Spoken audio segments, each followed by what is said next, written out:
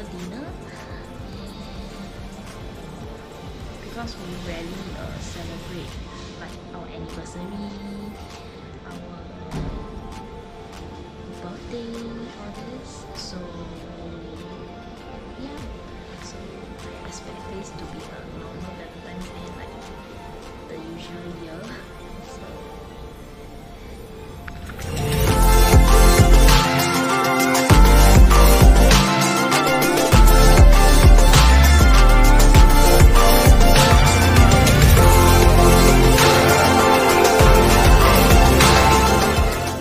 Hallelujah.